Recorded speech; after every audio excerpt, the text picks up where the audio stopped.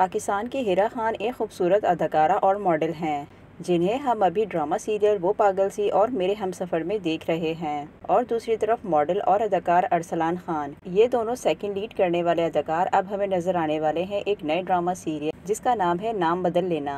इस drama serial की production Naveed Farooqui कर रहे हैं।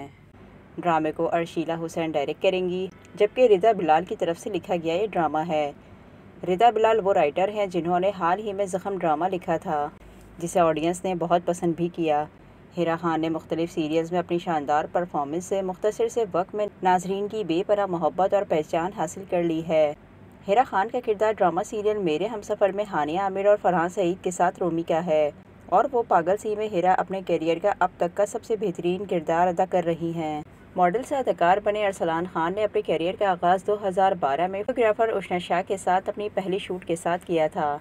अरसलान ने बहुत से इश्तहारात में और मॉडलिंग के ज़रिए अपनी पहचान बनाई है। अरसलान खान स्पोर्ट्स में भी काफ़ी नाम बना चुके हैं और कुछ ड्रामा सीरियल में सपोर्टिंग रोल भी कर चुके हैं। अब देखते हैं अरसलान और हिरा खान का ये पहला प्रोजेक्ट, जिसमें वो फ़र्स्ट लीड में नज़र आएँगे। ड्रामा सीरियल कैसा होता है? इस ड्रामा सीरियल की शूट स्टार्ट हो गई है। जिसकी मज़ीद अपडेट्स आती रहेंगी। तो ये थी हिरा खान और सलान खान के नए आने वाले ड्रामा सीरियल की अपडेट, जिसे हमने आपके साथ शेयर कर दिया है। वीडियो को लाइक और चैनल को सब्सक्राइब कर लीजिएगा। एक और नए ड्रामे की वीडियो के साथ मिलेंगे, तब तक के लिए अल्लाह हाफिज़।